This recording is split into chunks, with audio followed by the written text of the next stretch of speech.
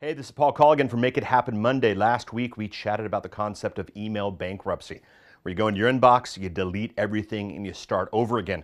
We talked about, we mentioned, we discussed how that should only be done once, or else people will not take you seriously anymore.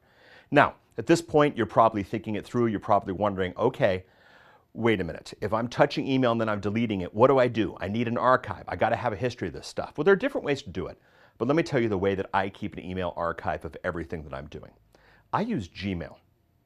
Now, some people find Gmail to be not the most um, respected email address. You know, if you're really in the internet marketing business, you don't want to have a Gmail account. There's actually a way around that.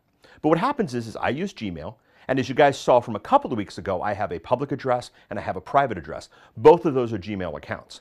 And so the great thing is when somebody emails me to either one of those addresses, when I archive it, it is in the history of Gmail. So when I want to go back, if I know there's something I need to look up, if there's a past newsletter, a login, a password, a serial number, or something that I want to look up, it's in the archives, but it's not in my inbox. And that's extremely important. So I use two different Gmail accounts. What if you have to use a, an, an email account for your own business? You've got a corporate name that you want to deal with.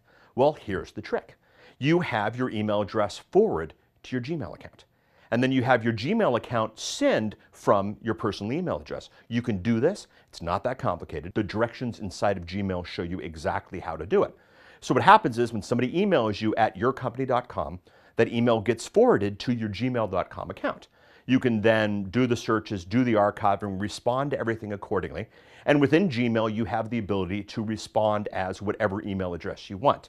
Again, there's a couple of steps you have to go through to do that, but the Gmail documentation is very good. I'm not here to teach you how to use Gmail. I'm here to teach you how to be as extremely effective as is humanly possible. That's what Make It Happen Monday is all about. So the email comes into Gmail, you deal with it in Gmail, you archive it once you are done with it, and then when you send out, although it's in Gmail, it gets sent out from your email address accordingly. This way you can come in, you can have an archive of everything that you've done, and you can maintain that inbox zero status. Guys, this is amazing. If you can pull this off and make this part of your daily routine, I guarantee it will change your business. This has been Paul Colligan from Make It Happen Monday.